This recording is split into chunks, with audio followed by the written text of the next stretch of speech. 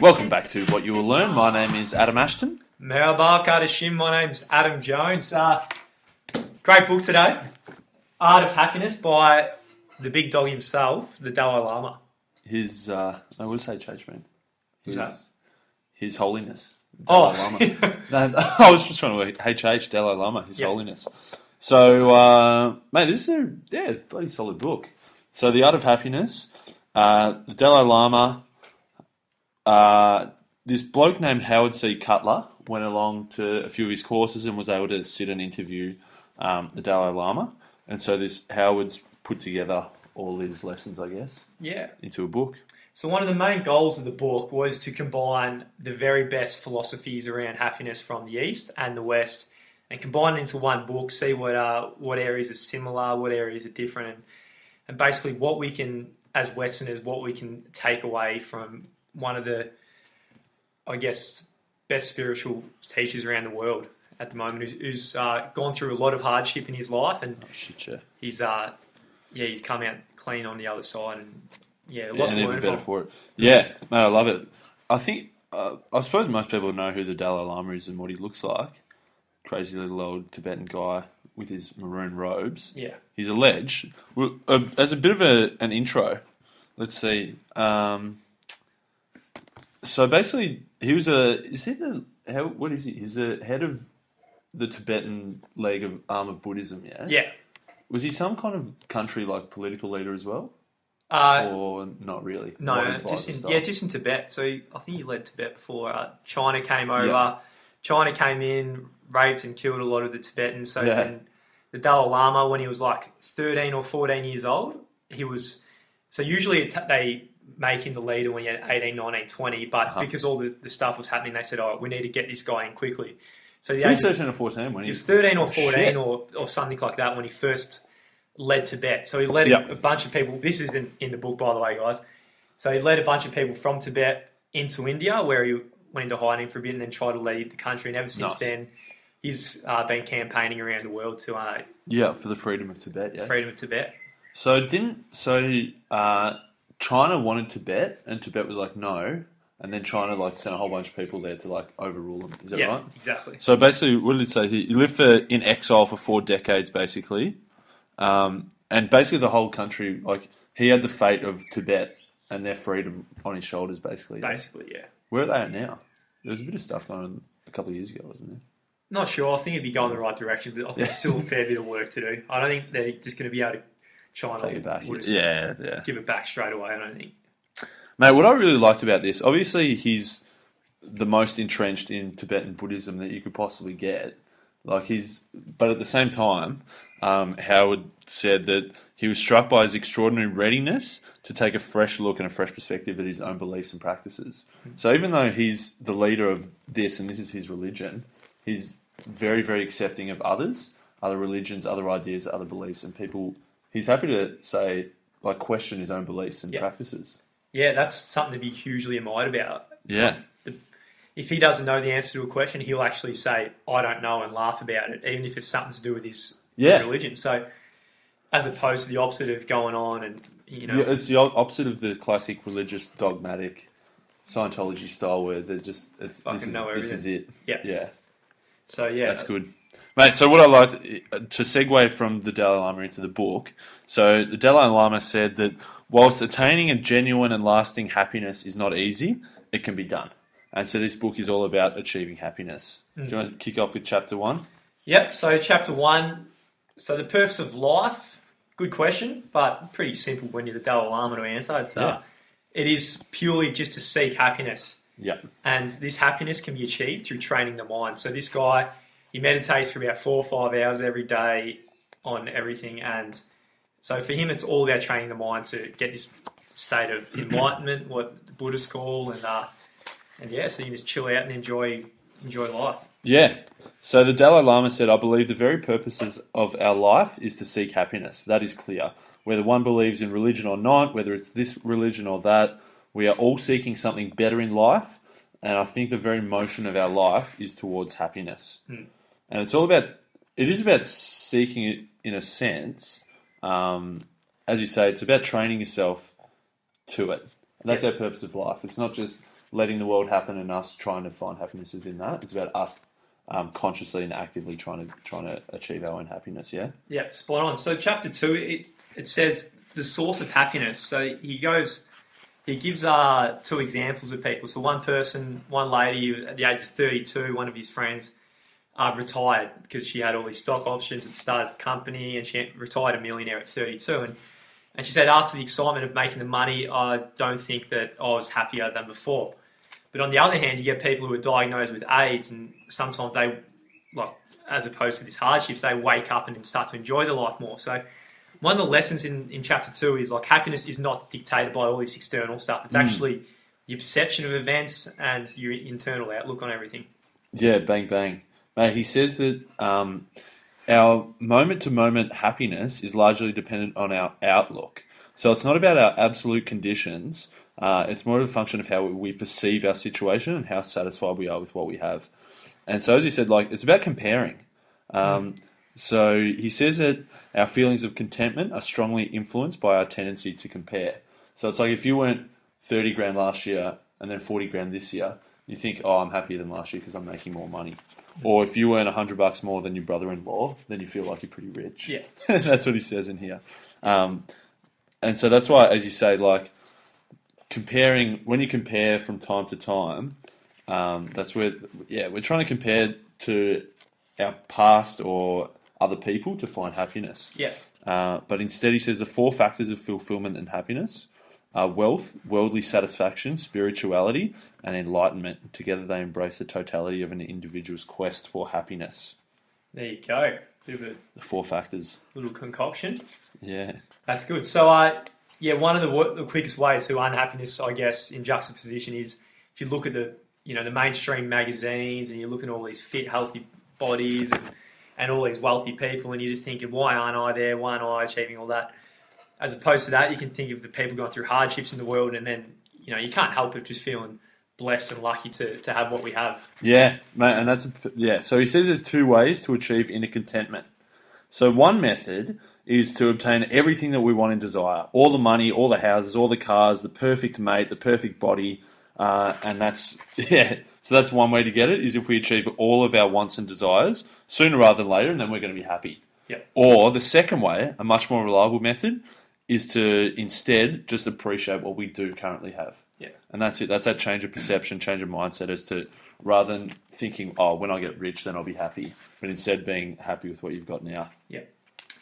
So for the Dalai Lama, it's, it's probably good to mention that there's we, do, we can't get happiness confused with pleasure. So something like uh, going out and having a big night with everyone and getting smashed on the booze is probably more to do with pleasure because on the Monday mm. morning you have the dip and then it's you know Yeah. the up and down cycle. And Whereas having happiness, sex, having sex is pleasure. yes. Yeah. Oh, we'll wait for see the, the way of superior man. I reckon that can be sustained. Maybe he said in here. He said in here something about sex is one of the happiest moments. That's Yeah. what some other guy said to the Dalai. He's like, no, that's not happiness. That's pleasure. Oh. Yeah. Does he have it? Does he get it? Yeah, no, he's celibate. I don't think he's ever rooted ever. Jeez, he would. Mate, in a con- When you got a mind that powerful though, you could just fucking, you could just Yeah. create whenever you want. Yeah. In your in your he mind. must wank. Oh, you Do probably-? No, No, oh, would. probably doesn't. Oh, I don't know. Fuck. Um, yeah. So, so we're getting to ch- chapter three. Hang on, mate. We said pleasure, but what's happiness? Oh, just being a content guy. Yeah. You know, everything's everything's happening out there, but you're ha- and actually, he says the biggest thing. This is one of the start of the book as well. If you want to be happy, practice compassion, and Mm. if you want others to be happy, practice compassion. So it's all about yes. just being compassionate, and you'll be happy. So Yeah, that's sick. That's one of his simple formulas, and he's got a few uh, techniques to be compassionate. But yeah, so chapter three, training your mind for happiness.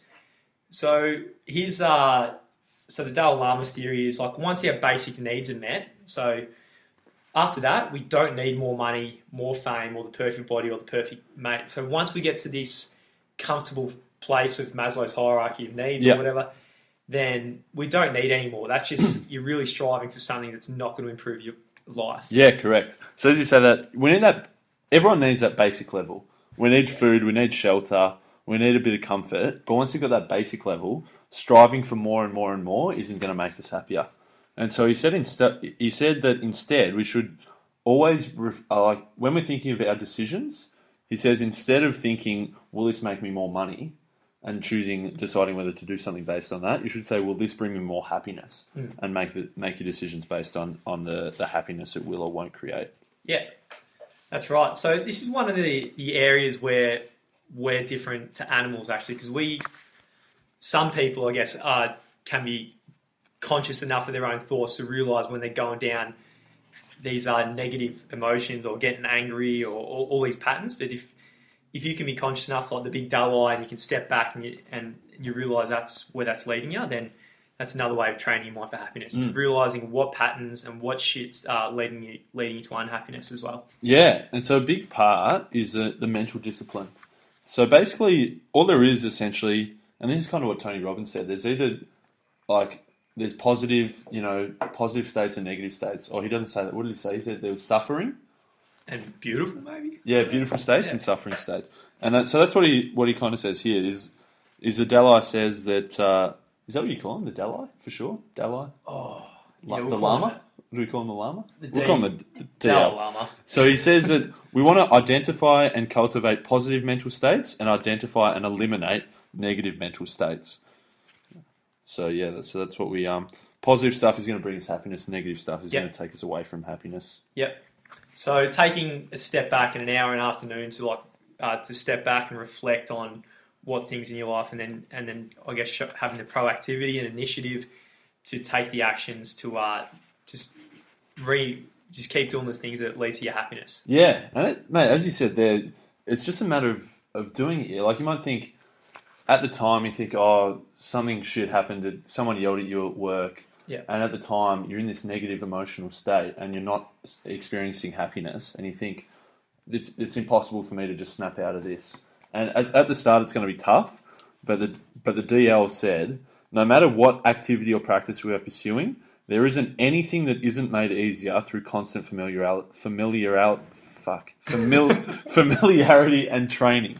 And so he said that anything we do, obviously, it's going to be tough the first time, but the more and more we do it, it's going to become easier and easier. Yeah. So if you're conscious of thinking, I'm, I'm in a shit mood right now, how can I get myself out of this? The more you practice it, the easier it'll become. Yeah. It's like any skill. Yeah. Yeah. he says, going into it's like just going to the gym, but you know we don't really think about a brain in that kind of way. We think about the gym training there, and we get better at get bigger muscles, but the exact same process can be applied to the brain to be more compassionate and and uh, using these keys to, to become happier. Love it. So yeah, uh, so that's the the start of the book, and then there's some which we both really liked. Yeah, so the so the book's in a couple of a few different parts. So that was that was most of part one, the purpose of life. There's five parts in total. Part one was definitely my favourite. I was yeah, that's where all my notes and highlights and everything are. And it, yeah, the other stuff's good. I just slowly dropped off. slowly dropped off. I lost lost the connection. It's fucking good stuff though. That's what all right, man. So uh, we'll go through some nuggets. Yeah. Uh, I liked.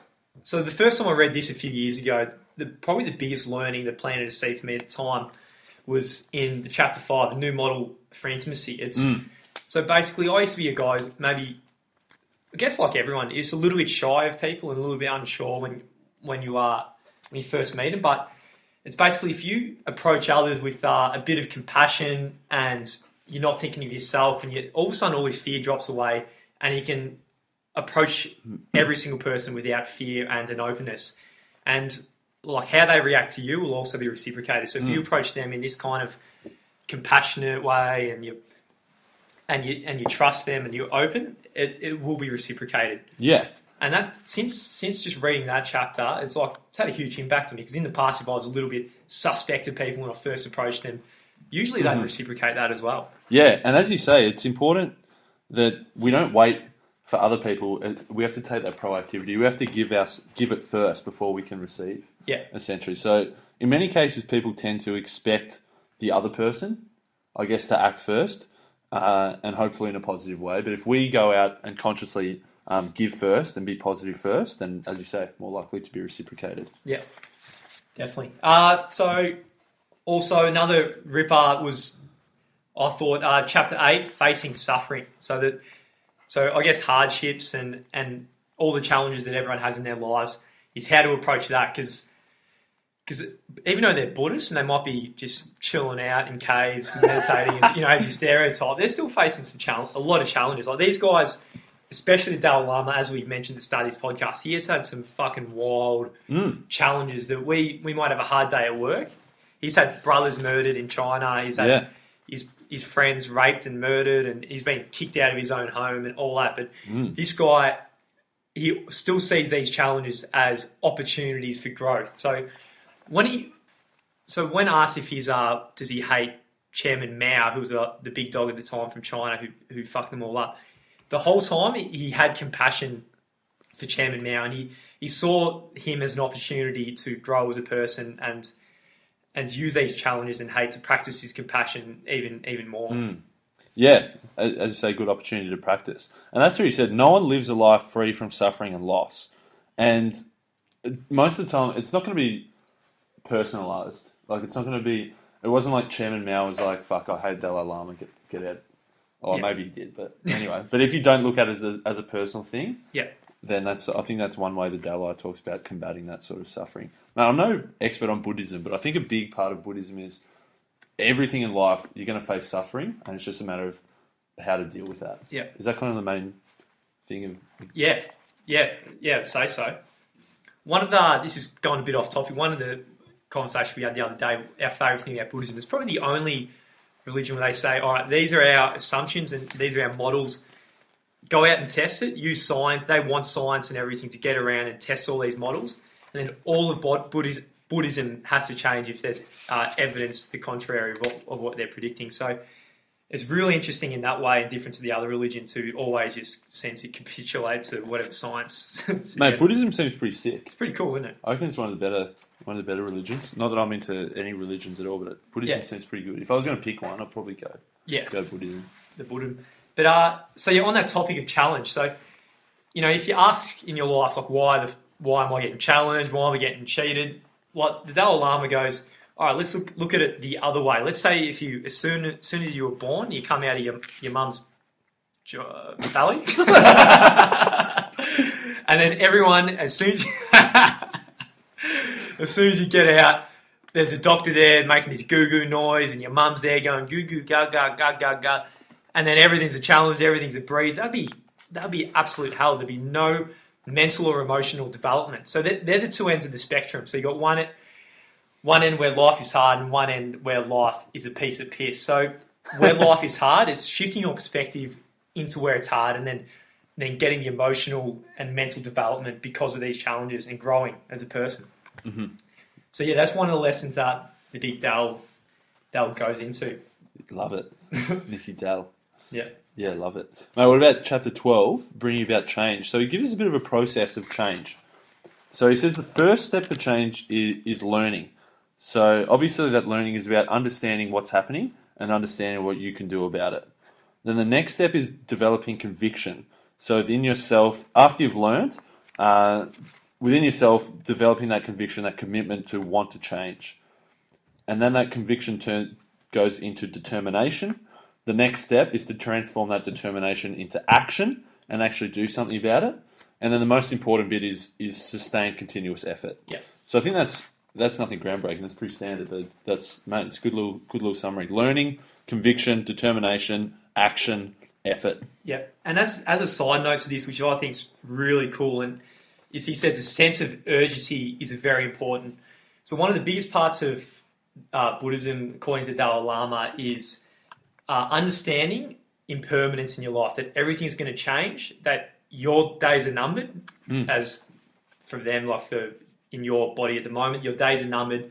So understanding your impermanence, and if you don't have a sense of urgency, the things aren't going to get done in your life, or the growth, or the fulfillment. You're not going to get there if you don't have the urgency to get up and uh, do the shit you need to do. Love it, mate. Buddha, Buddhists they've got reincarnation, yeah. Yeah, yeah. Yeah, nice. Yeah. So That'd be a good one. Hey, That'd be good. Come back. Yeah, it depends what Come though. back. Yeah, yeah. Mate, what about chapter thirteen, dealing with anger and hatred? uh, yeah. Now we've got a story here from uh, Shakyamuni, the Buddha. Yeah. So he says if one, comes across a person who has been shot by an arrow, one does not spend time wondering about where the arrow came from or the caste of the individual who shot it or analysing the type of wood that the shaft is made from or any manner in which the arrowhead was fashioned.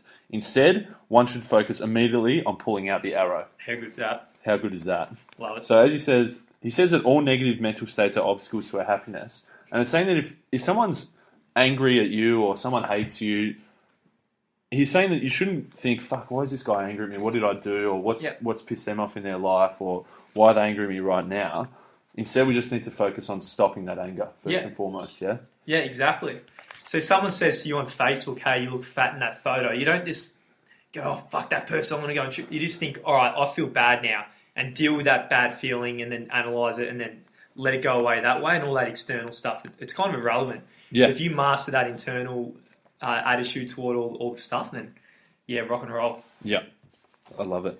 So uh, any any more uh, any more from any any chapters? I think mate? that was, mate. There's so much stuff in here that I've highlighted that we don't have time to talk about, but that was, that was the main stuff. I think. Yeah, so they're, they're the stuff we liked. I think probably the Buddhism is probably got that many layers to it, and we're probably me and you. We're we you know we're not that into it, so it's No. like we're probably only peeling the first layer. Mm. But I'm sure because it's been tested over two and a half thousand years, there is so much layers to it, and so much uh, values, and you don't have to adopt. It's not like a religion where you have to like fucking you know do all uh, do all these rituals and do everything they say. You can just take what you want from it, learn from it, and then yeah, just adopt it into your own life. Yeah. Should we get the Dalai on? I don't Yeah. think we'll get it. Mate, we, well, we'll try, but we've got we do have a Buddhist monk coming on. Yeah. So that'd be sick. Yeah, Um, mate, overall, what were your thoughts on the book? yeah, I loved it. I'd I'd recommend it to uh, every Yeah. every Westerner. It's just shit that we can learn. There's you know some of our biggest weaknesses in Western culture Yeah. can be fixed up by some of uh, the Eastern cultures' uh, Mm. perspectives and philosophies. I think. For sure. As I said, I really, really love, say, the first 30, 40 pages. Yeah. For some reason, like, there was a lot of stuff in there that I loved, but I don't know what it was. I just wasn't. I don't know if it was the writing style I wasn't connecting with or the way he was doing it. Yeah. It was sort of more, I, I felt like parts I was just reading words as opposed to actually understanding it. Yeah, But there was some fucking good shit in there. yeah, definitely. Would definitely read. Yeah. Definitely must read, I'd say. So for you, definitely, it's worth looking for people getting in, into a bit of uh, looking into a bit of the Dalai Lama, Yeah, his work. absolutely. Yeah, awesome, man. Fuck yeah. Uh, what's next? So that's uh, serious, Oh, serious God. book coming. Mate, it's called The Way of the Superior Man, a spiritual guide to mastering the challenges of women, work, and sexual desire. Yeah, Interesting book. interesting book coming, guys. Uh, should we sing that shit? So have a sing. Yep. The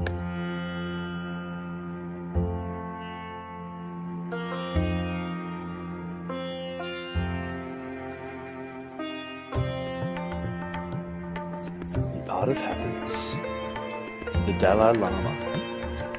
His actual name is Tenzin Gyatso. If you want others to be happy, practice compassion. If you want to be happy, practice compassion too. The purpose of life? Happiness. Happiness.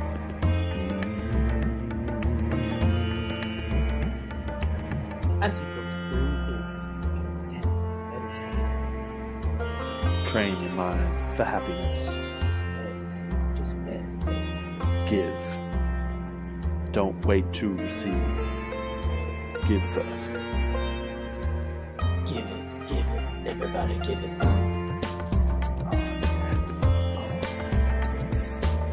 Most of our suffering is self created. Instead, respond differently.